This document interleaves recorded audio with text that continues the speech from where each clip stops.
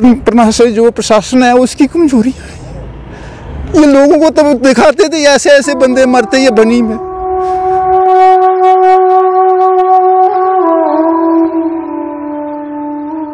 ये हमारे प्रशासन है, ये।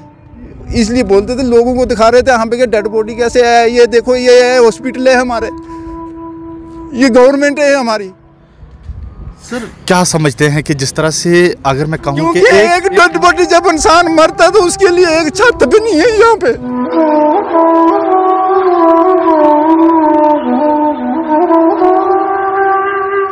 उसको पोस्टमास्ट करने के लिए जगह नहीं है इस हॉस्पिटल में क्या करना है यहाँ पे? कहाँ जाना है?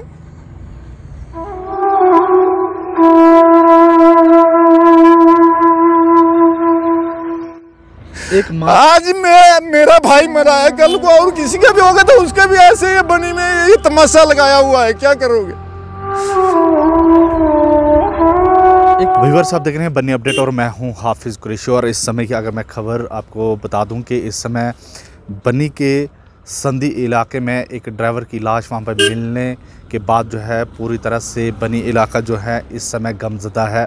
तो वहीं आपको बता दें कि वहाँ पर जिस ड्राइवर का जो लाश मिली है, उसका नाम महेंद्र सिंह बताया जा रहा है। तो वहीं इस समय मैं आपको बता दूँ कि यहाँ पर पोस्टमार्टम उसका किया जा रहा है। देखिए किस तरह से यहाँ पर खुले आसमान के तले यहाँ पर डॉक्टर पोस्टमार्टम करने पर मजबूर हैं। ऐसे में यहाँ पर लोगों का जमावड़ा भी है और आप देख सकते हैं डॉक्टर्स की टीम साथ साथ में पुलिस एहलकार यहाँ पर पहुँचे हैं और तो बनी में एक लंबे अरसे से मौशरी की मांग जो है उठती आ रही है। जब जब यहाँ पर कोई इस तरह का हादसा सामने आया, उसके बाद जब भी यहाँ पर डॉक्टरों को पोस्टमार्टम करना पड़ा तो या तो उन्होंने एंबुलेंस का सहारा उनको लेना पड़ा तो या या फिर वो जो है यहाँ पर इन क्वार्टर का उनको सहारा लेना पड़ता है। तो वहीं आज जिस तरह से मोहिंदर पाल का ड्राइवर जो मोहिंदर पाल थे, उनकी जो है अचानक वहाँ पर मौत हो गई। अभी तक मौत का कारण जो है वो सामने नहीं नहीं आया फ़िलहाल जैसे पोस्टमार्टम रिपोर्ट आती है, तब जाके साफ़ हो पाएगा कि ऐसे में कि मोहिंदर पाल की मौत कैसे हो पाई है? सबसे भरोसा होता है लोगों के पोस्टमार्टम पर। अगर उसी पोस्टमार्टम वही पोस्टमार्टम सही तरीके से नहीं हुआ तो यकीनन कहीं ना कहीं असल मौत की वजह जो है वो सामने नहीं आ सकेगी।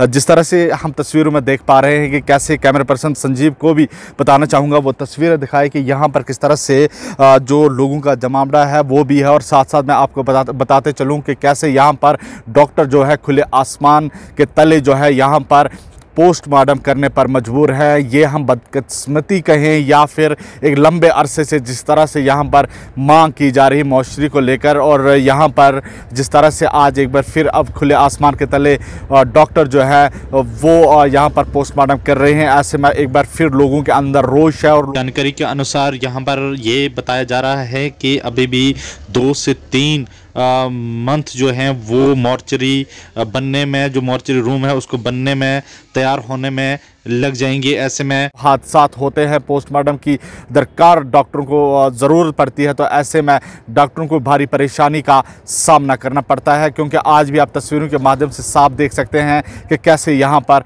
डॉक्टर जो है वो खुले आसमान के तले यहाँ पर पोस्टमार्टम करने पर मजबूर हैं। ये देखो ये हॉस्पिटल है हमारे।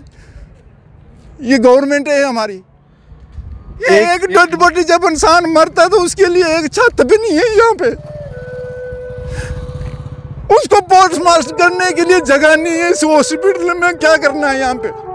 कहा जाना है? एक आज मैं मेरा भाई मरा है कल को और किसी का भी होगा तो उसके भी ऐसे ये बनी में ये तमाशा लगाया हुआ है क्या करोगे?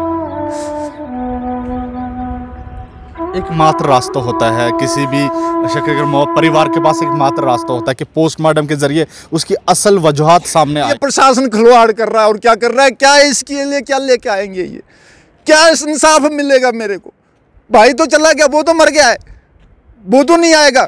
पर प्रशासन से एक ये अपील तो है तो नहीं यार इसकी अगर जड़ से एक जो तो लेके आओ कोई अगर ऐसे अगर पोस्टमार्टम करोगे तो इसी तरीके से इनकी इंक्वायरी भी इस तरीके से होएगी। क्या लेंगे हम? जब खुले आसमान के आगे ये चीर फाड़ कर रहे हैं तो इसी तरीके से ये खुले आसमान के आगे वो करेंगे कल को जो भी प्रूफ है वो सारे खत्म हो गए, सब छुप गए। ज़ाहिर सी बात है, कहीं ना कहीं जिस तरह से मैंने पहले ही बताया था आपको कि कहीं ना कहीं लोग जो हैं रोश में हैं इसको लेकर के, जब जब यहाँ पर किसी की मौत वाज़ा हुई है, उसके बाद जिस तरह से यहाँ पर पोस्टमार्टम किया जाता है, यह है कि एक परिवार के लोग जो है रो रो के कह रहे हैं कि क्या आसमान के तले यूँ ही पोस्टमार्टम किया जाता है। यहाँ पर और भी लोग हैं इनसे भी बात करने की कोशिश करते हैं। क्या नाम है आपका? दारू राम सर। क्या कहना चाहेंगे जिस तरह से मौत सर आप ये कहना चाहते हैं कि जहाँ में आन के शरा आम में आन के डॉक्टर साहब जो हैं वो पोस्टमार्टम करते हैं। क्या इनके पास एक कमरा नहीं पड़ा है? या गवर्नमेंट के खजाने को आग लग पड़ी है उसके उनके पास एक भी कमरा नहीं पड़ा है? गवर्नमेंट है ये साली ये क्या कर रही है ये जहाँ क्या बात है? ये इधर में आने के शरा आम में लेते हैं जैसे हम डंगर को भी नहीं ऐसे गिराते हैं वो मर जाता तो उसको हम उठा के भी कहीं साइड पे नहीं के उनको नीचे से धरत में खड्डा निकाल के उसको छुपा देते हैं। ये कौन सा तरीका है सर? अपनी अपनी नौकरी पढ़ते करने वो करते अपनी करने वो करते पढ़ते करने कुते वो करते ये तो खुले आम है वो लगेदा होने। क्यों कर रहे हैं वो खर्चा? इससे तो अच्छा है वे घर में मुर्गा काटते हैं तो उसको भी अच्छी तरह से कहीं छुप के काटते हैं ना।